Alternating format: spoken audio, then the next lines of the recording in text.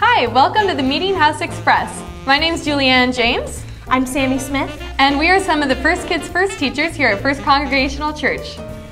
This Sunday, Dr. Colglazier will be delivering a really intriguing sermon called Jesus and Buddha. We also will have the sanctuary filled with the exciting sounds of taiko drummers. So you don't want to miss this Sunday.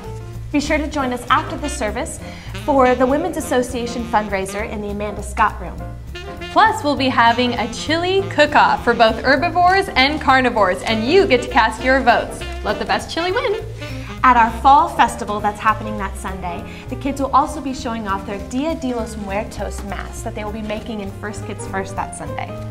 We'll also have lots of games, prizes, pumpkin decorating, face painting, and a lot more for kids of all ages. So come and check it out.